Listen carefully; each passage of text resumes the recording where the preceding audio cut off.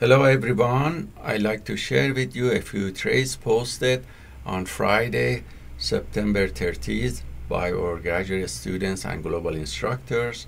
This is a clip from AP who's uh, showing uh, trades on Euro USD using Forex Broker. Uh, he's shorting that because the uh, structural and also trading charts are aligned and we see downtrend in both channels so he's taking pullbacks and exit repeatedly uh, according to the PAAT algo 1 to 3 and also 3 to 5 and entry signals. So these are the trades he's, he has taken and thank you very much for sharing your trades AP with us this trade shared by Kasra our global instructor shorting US 30 which is Dow Jones Industrial Average CFD and we are in downtrend and as you see he entered in this area with the stop loss here above and two targets below. So thank you Kasra for sharing your trades with us.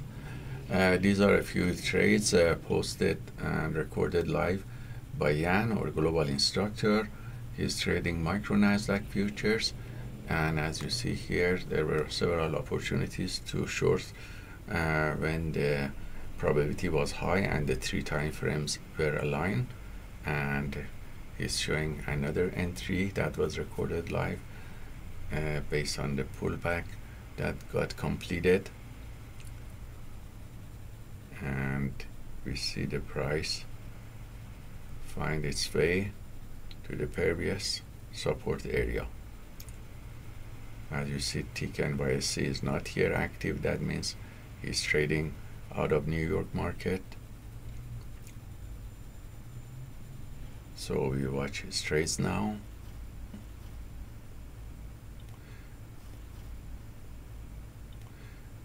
And this is the result. It shows that he gained a profit factor of 23 which is very good with the 77% win rate and average win to loss ratio of 6.8 which is very good uh, with very small drawdown so that's great and thank you very much Jan for sharing your trades with us.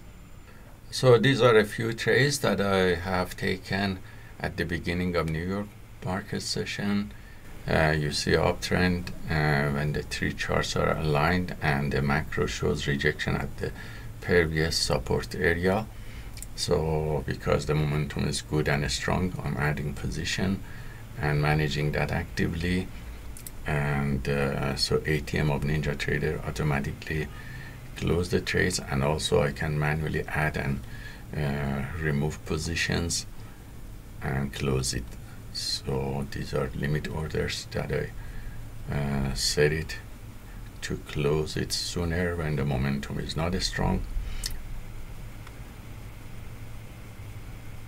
So we are close to the economic release at 945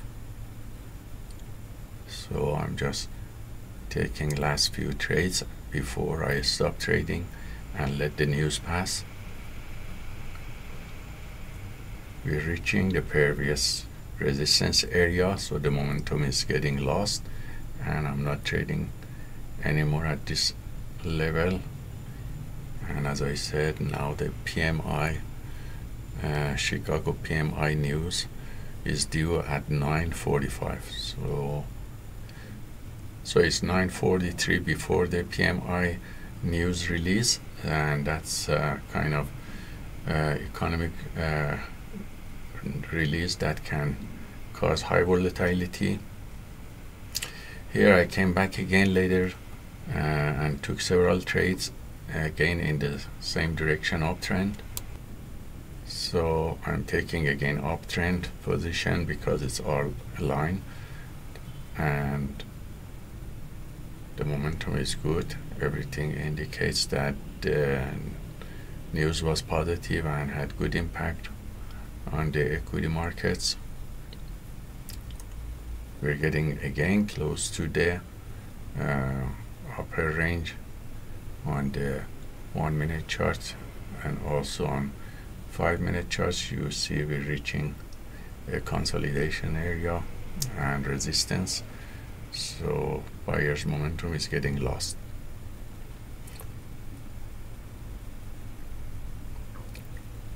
And if this trend line breaks that means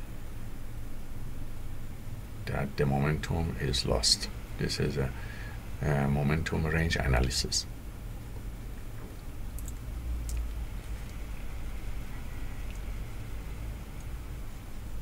so it's risky and I'm not taking trades anymore long position because we are in this area. And anytime the sellers can come back and force the price to go down.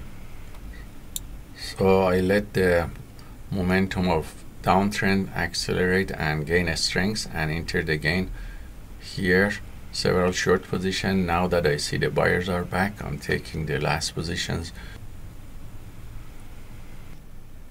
Here is a few more trades that I have taken at the end of uh, New York session. And as you see the profit and profit factor is around 3 74% win rate and average win to loss ratio 1 to 1 hope these trades are useful for you and let us know if you have any questions. Have a wonderful day and weekend